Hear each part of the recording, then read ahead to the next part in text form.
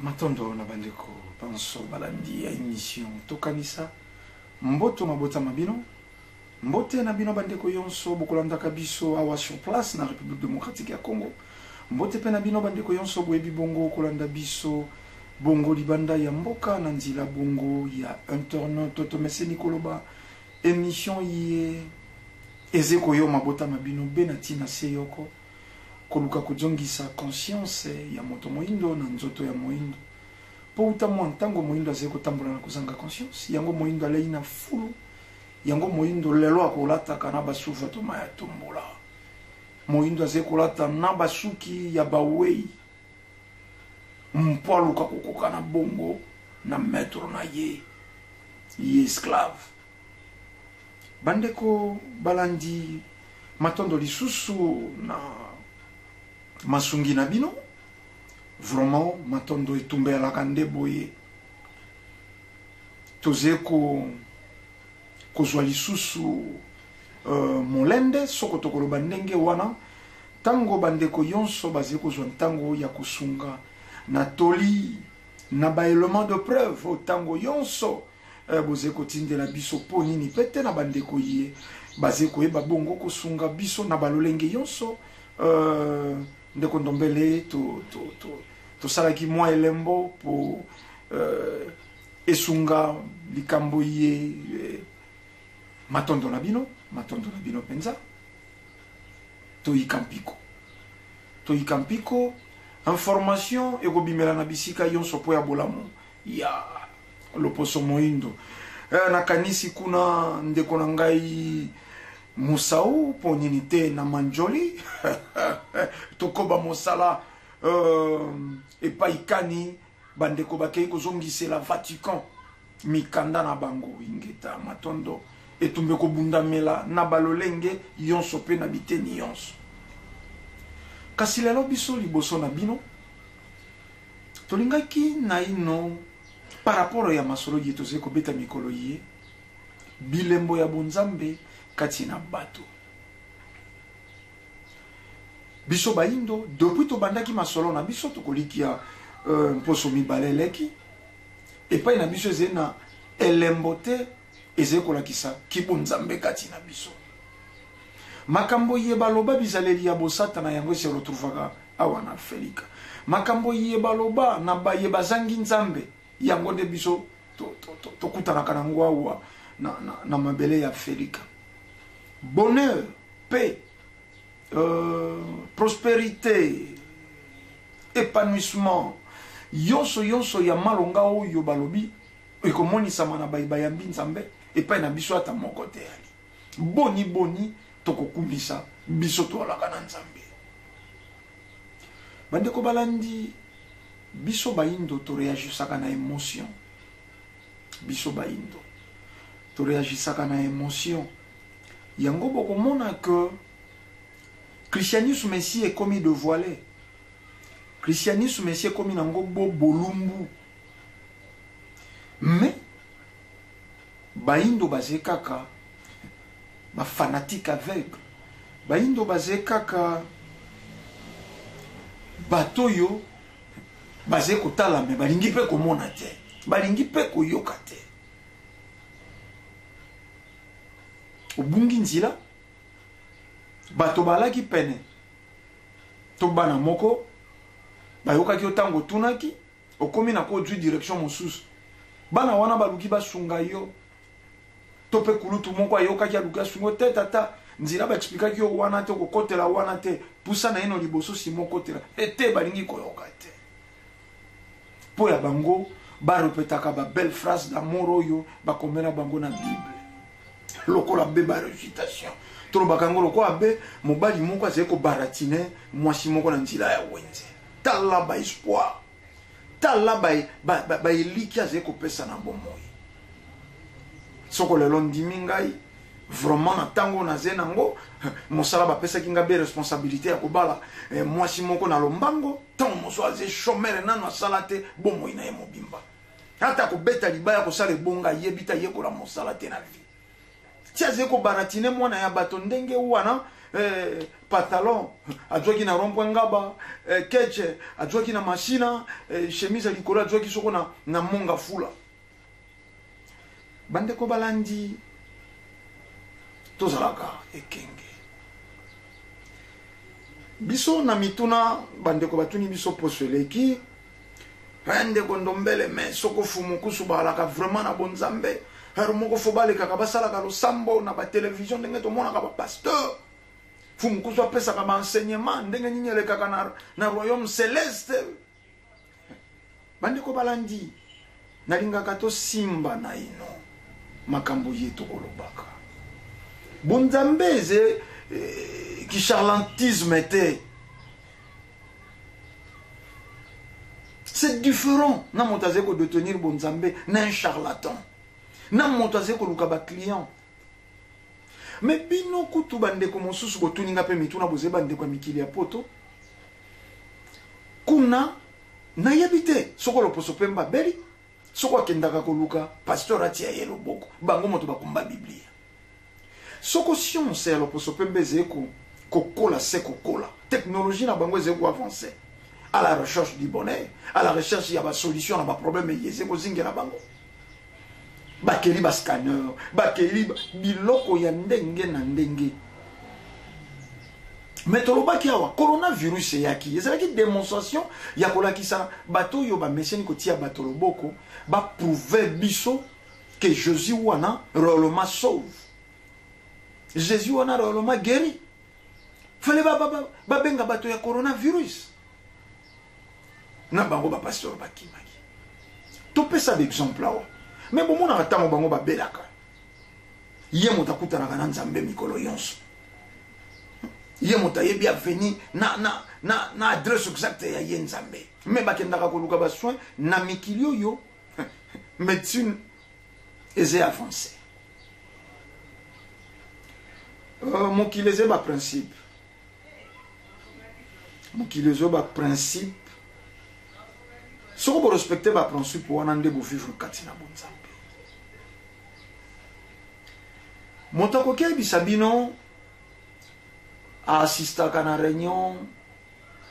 ya quatre lettres celeste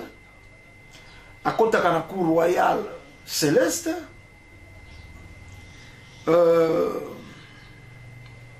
ntango euh, bakombolaka mapata ye moto ayebi esika bakendaka kobwaka salite wana ya soko ya mapata soko mpe ya paradis nayebaka te nyonso mibale na mapata na paradis ezali kote moko to ezalaka eh, fozwa lisusu transport mosusu mais totala bilembo soko moto ayebisi yo ngai ndenge naza boye ndeko ndombele liboso na bino na plateau nalobi ndenge naza boye nauti réunion na cour céleste na fumu kimbangu mais ça reste à vérifier siko bokoverifie yango mpe ndenge nini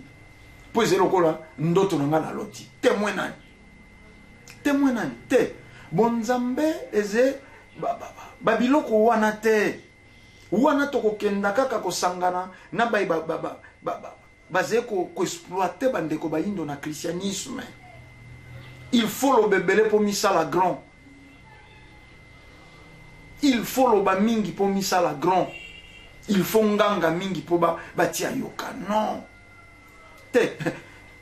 moto atala moto alanda moto ayoka enseignement alobi te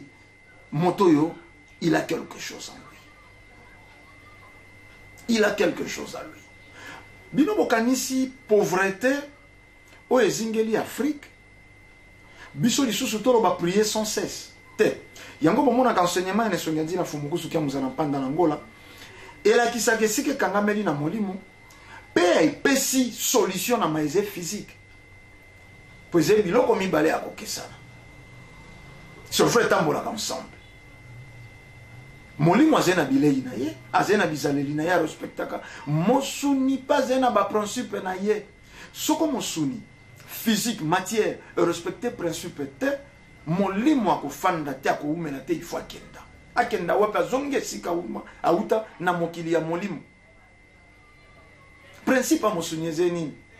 mosuni avivaka na mai na bilei na mopepe akosenourir na bilei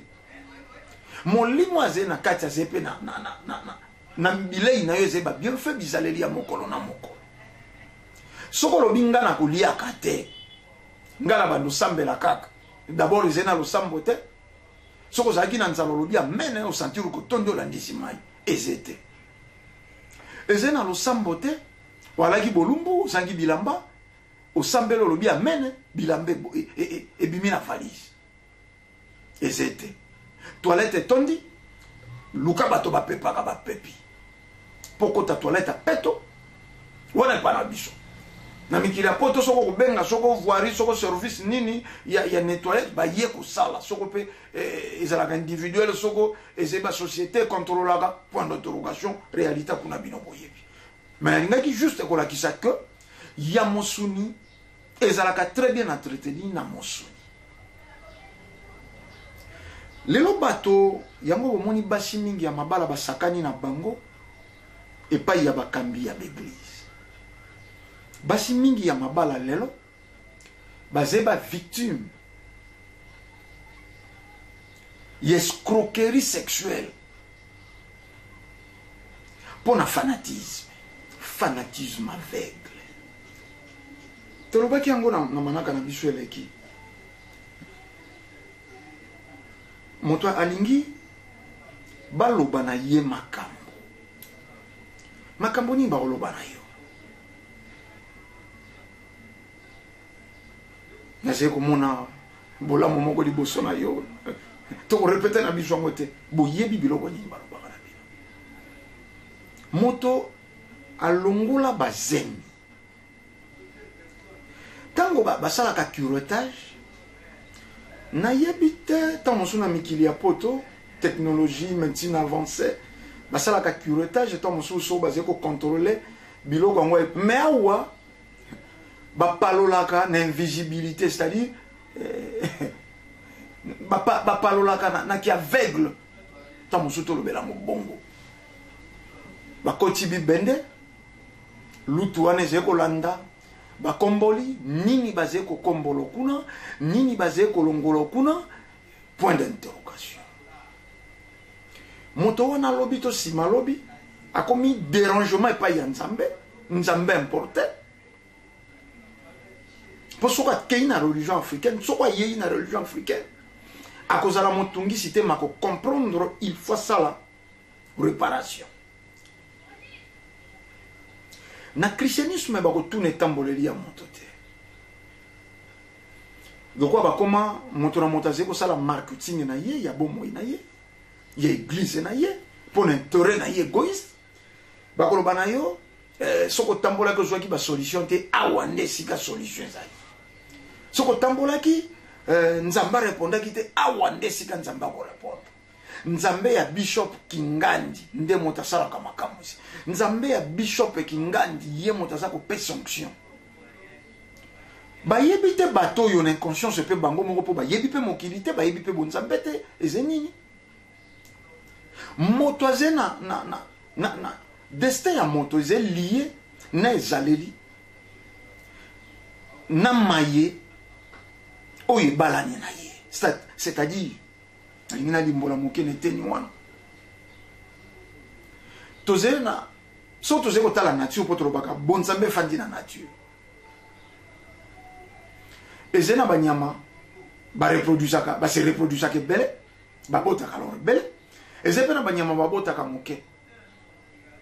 lolenge moko mpe na bato ezali na bato ya mabota oyo ba forcaka te eze pe na bato mosusu ya mabota moke quel que soit ko forcer na bango to koluka ba, ba, bazala mabota ebele cela explique que tata mokeli akeli moto na moto na moto na lolenge na ye na lolenge na ye moto oyo ezalaka preuve abota bana misato alongoli zemi misato na bomoi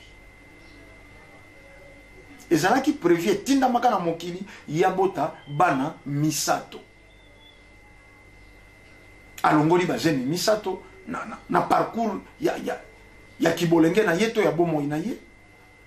loko ekoma liyanzi ekoma tsombokila euh,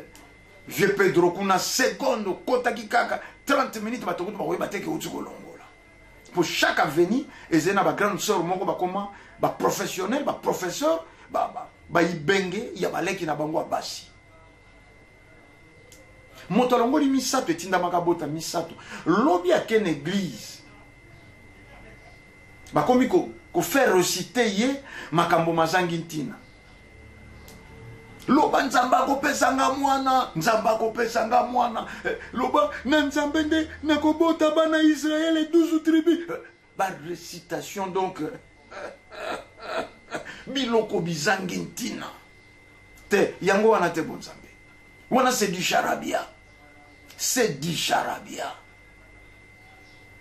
na religion africaine esika bakoloba nini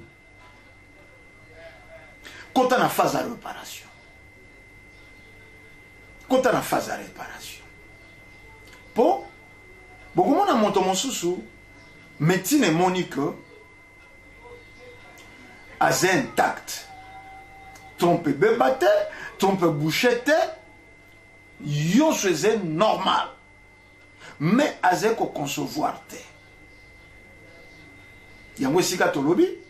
pourkui ozali koconcevoir te bongo soki oyo oboma bana na yo yo moko misato batilaka yo te eglize akei kokanga sika bandoki batata ya basi bango nde bandoki banoko bapapa kulutu surtout bamibange osi bazwi bansuki ya pembe soko bazali na vie médiocre donc na molato oyo alati mpo ya pasi azangi ntango mosusu mbongo ya kosomba to ya kobambisa sapato esi efungwamaki balobi tala ndoki sapato wana ndenge efungwama wana ngando na ye ya butu yango wana donc bato bazali kobalisa be makambo mazangi ntina na bomoi ya bato yango tolobaki bayindo bareagisaka be na émotion soko pasteur moko abimi batia kopo na mai ata moni eloko te pasteur na biso yako komona moto azali kobenga bato yako komona un pauvre malheureux akowelelaka mikadi ya tombola akovivaka na, na, na, fakenda wenze retare mpo eh, mbisi ekiti ndunda bakomi kosolde moto azali komona thomson oyo kala te ezali kopola bato batia yango mopiku me azali koloba pasteur na biso asalaka pasteur na biso azali na onction te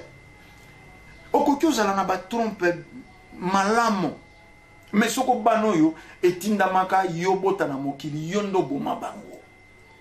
kasi otikali na eloko te bisalelo bilema yonso ya nzoto ezali ya kokoka mais otikali epave na religion africain sika bakoloba kota na phase ya reparation luka osepelisa motema ya tata mokeli fumu kimbangu balongo mpe bankoko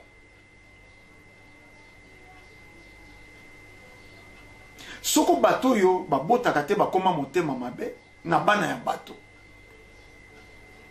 na religion africaine bakoloba na yo renverse koma mosungi ya yambo ya bana ya bato linga bana ya bato mpo obandeli mosala ya kolona tiata mokolo moko baloba na mokili ya molimo bon toki mawa bokanisela ye ata na moko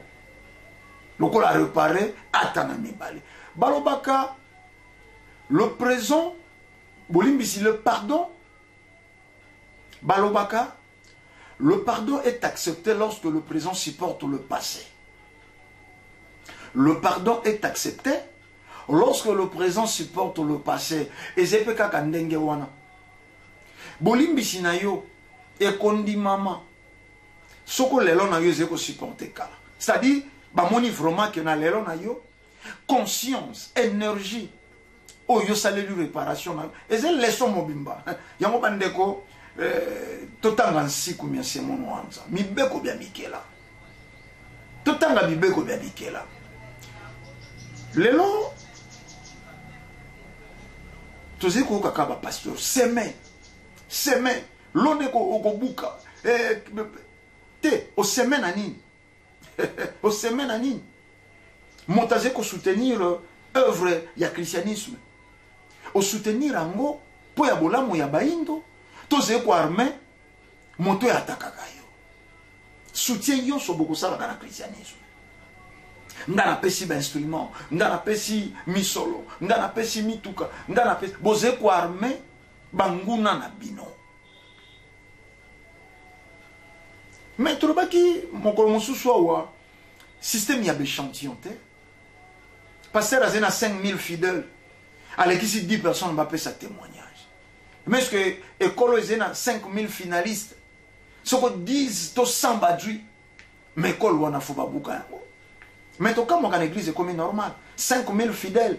alekiseli biso euh, mariage ya 10 personnes baya kotémoigne ke na église wana nzambe asalaka akomédiatise yango mpo clientèle eya mingi ce n'est pas ça ce n'est pas ça euh, na bankoko na biso balaki très très très très mayele très très très mayele tokolikia na masolo ezali koya tokobandela wana bandeko balandi moto azali koleka na nzela moto azali koleka na nzela amoni bitabe ntango tolulaka bitabe batandi mopiko ya bitabe tolulaka yango na poso ndenge eteleli na poso na ngongwa nde epesa ah, bitabe oyo kitoko ifo nasomba namemela bana ifo nasombela namemela mama bana ifo nasombela namemela papa bana ndenge poso ya bitabe yali me soko okomi na ndako soko okomi na ndako ezala olingi opesa bana ezala olingi opesa mama bana ezala olingi opesa papa bana eloko ya liboso obandi na kolongola eloko oyo atiraki yo bandeko balandi tozalaka attentif tokotangisa bino bosembo ya tata keli likolo na se tokotangisa bino te disharabia simba tv ah molimo mabe boye te c'est vrai connaissance eyali soko esprit baesprit positif eyali baesprit négatif eyali me tokozala wana te mpo ntango yonso enseignement ya kobangisaka bato eh, bato bakoma kobanga butu bato bakoma kobanga kolela ya nyau bato bakoma kobanga kolela imbwa ba... me te na sika na, na, na bonzambe nde bakoyebisa yo omoni imbwa imbwa zena bakolela misato imbu azali na bakolela mosusu azali kolela mpe bolingo na ye azali na kolela mosusu amoni moto suspect imbu azali mpe na kolela mosusu amoni ndenge bazali kobimisa molimo molimo ya moto ezali kobima na nzoto moto akoma komystifie ko yonso pauvrete ya bayindo bomystifie yango te chardon de l'imperialisme bakangi yango mpe na mosuni mpo toperdaki bonzambe moko songolo tomisifiaka makambo yonso te etabe tozongi nalulaki etabe na poso libanda ya, ya, ya, ya etabe nde ebengaki ngai nabimisa misolo mais soko nakomi nazali koservir bana na ngai etabe la première de chose babandi na kolongola poso ya etabe oyo eatiraki ngai oyo esalaki ngai nabimisa misolo babwaki yango na nse balei oyo eze na kati ata lilala ekoatire ngai na poso ah malalo soin malalo eteli kitoko la première de chose il faut nalongola mposo ya lilala il faut nalongola poso ya lilala anana anana oyo ndenge namoneli yango soko nalingi nalia ifo nalongola poso eza ba principe spirituel yango bomoni na bankoko na biso bazalaki atauti zamba akangi nyama dictature olobamaka te mpo soki ezalaki na lelo il faut bakenda kosala bacampagne ba, ba mopanzi boniboni ngai nakotaki zamba butubutu nga moko ntango nakangi ebwele na ngai nakenda kopesa yango mokonzi parti ya souvent alaki parti ya, ya kitoko nde ekendaka epai ya mokonzi ah, parti ya kitoko nde ekendaka epai ya mokonzi awa tolobi poso oyo yo olulaki kitoko yango olongoli yango olongoli obwaki ose servi na oyo ya kati na bomoi ya bato tozali na baposo tozali na baposo osali cop osali cop osimbi mbongo mbongo wana omoni yango mbongo ya malamu positif cop na yo ezali ya malamu me yebake mbongo wana ezali na partie négative mposo il faut elongwa spirituel il faut longola yango yango bomoni esika secret ya mapamboli mpe ya bofuluki efandeli oh, tolingaka mpenza naino te chaque fois toleki hey, bonzambe hey, esalaka boye te conscience ya bato nano bato soko bazongeli conscience eza ebandeli ya kozala na bonzambe akorespecte nature akorespecte ndeko na ye moto kaka maloba mabe oyo tolobanaka entre biso obstacle ya liboso totiyaka na bomoi na biso tolobi malamu kaka maloba mabe oyo tolobanaka obstacle ya liboso ya bomoi mpo maloba elekaka te contrôlement na oyo batangisi bino euh, les paroles s'envolent les écrire reste te na moto ayebi spiritualité te mais ce que bokoki koimagine mwana balakelaka azalaka na, na 13 ans ke akobota te akomi na 30 40 ans abali akomi koluka mwana mwana azali koya te soko réellement maloba epimbwaka nini ekangi ye te esanvolaka te mpo emonanaka nango mpe te maloba eyokanaka ma emonanaka te yo olobi esanvole esanvole ezalaki wapi mpo esanvole te par contre maloba ezilaka ntango na yango ya accomplissement na bomoi ya moto moto azali na, na, na ntango euh, positif na ntango négatif ntango faste na ntango nefaste soki ozali na bilakeli mabe eke ozali kovivre positivité na yo elakeli mabe efandi ezali kozila bango moko balobi na bino le malheur ne vient jamais seul soki okomi na ntango na yo sika ovivre mababe na yo to libabe na yo ah, nde omoni que okoti sikawa na descente aux enfers esika mababe yonso oyo balakela yo oyo olobaki esanvola ebandi koya kokola yo periode yango wana nde bonzambe simba tv ozokoka libumu mpasi si te te makamwisi mosusu fumu kimbangu asala seul prophète asala makamwisi mais tolobaka yango ezalaki enseignement ezalaki mpo apelisa mbwetete apelisa betesele na bomoi ya bayindo atobola bazone dombe ebenga moyindo amona ke o oh, me makambo yango kutu bakoma na biblia bato bakumbaka biblia basala te me ndeko na biso moyindo asali bayaveur ye mpo bakuta enseignement bankuta nsiku nzete na nzete koliaka na mosisa na yango nsiku peuple na peuple akovivre na racine na ye bankoko na ye yango nzela ya bonzambe bandeko bosufi tokabona mpo ya mokolo mwa lelo etando eza engonga tolelaka kaka etando eza engonga mais bilembo ya bonzambe na bomoi ya bato parla en langue shiraka bondo bondo bondo parapara para fifi te yango te yango wana te bonzambe yango wana te bonzambe mpo soki ezalaki yango il faut afrika ezala continent naloba nini plus puissant du monde mpo afrique nde ezali na magablo wana elobaka shiraka bondo bondo bondo nayebi te combien de, de tokozala na combien de millions des églises na afrique te baarabe bamati sans yango baasiatique bamati sans yango bango moko baeuropéen bato bakumbela biso mokanda ya lokuta wana bamati sans yango mais yo moyindo oze au bas de l'échelle avec yango